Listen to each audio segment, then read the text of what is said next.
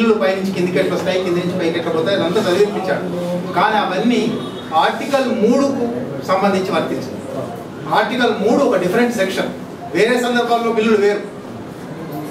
Concurrent లిస్ట్లో ఉండే బిల్లులు పైనుంచి కిందికి వస్తాయి కింద కూడా చూడ చూడాలి పైకి పోతాయి మళ్ళీ. కానీ ఇది కంకరెంట్ లిస్టు కాదు ఇది యూనియన్ లిస్ట్. ఇది పైది.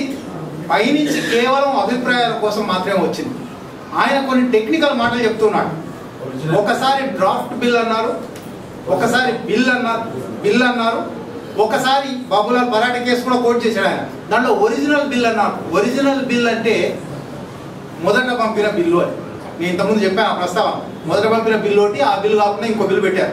అందువల్ల ఒరిజినల్ బిల్ అన్నారు. ఆయన ఇప్పుడు ఆ మాటను కూడా తీసుకొచ్చి ఇది ఒరిజినల్ బిల్ కాదు కదా.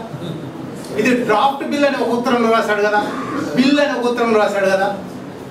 పార్లమెంటరీ ప్రొసీజర్స్లో మొట్టమొదటి ప్రవేశపెట్టేదాన్ని బిల్ అంటారు బిల్ అంటే డ్రాఫ్ట్ అని అర్థం. డ్రాఫ్ట్ బిల్ అనేది ఒక అనవసరమైన పదప్రయోగం. డ్రాఫ్ట్ అన్నా బిల్ అన్నా ఒకటి. అది చర్చ తర్వాత యాక్ట్ అవుతుంది. ఇవి రెండే ఉంటాయి. ఇవి రెండే వాళ్ళకి తెలిసేది కానీ ఈ బిల్ అనే మాటకు మూడు వేరు వేరు అర్థాలు ఆయన చూపెట్టి డ్రాఫ్ట్ అని ఒక చోటు ఉంది బిల్ అని ఒక చోటు ఉంది ఒరిజినల్ అని ఒక చోటు ఉంది.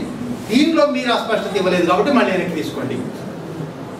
ఇది మామూలు చట్టం సంగతి పార్లమెంట్ సంగతి పక్కన పెట్టండి. ఇంగ్లీష్ వచ్చిన వాడు కూడా ఎవడు. కిరణ్ కుమార్ రెడ్డి తెలుగు రాదు ఇంగ్లీష్ వచ్చనుకుంటాడు అది కూడా రాదని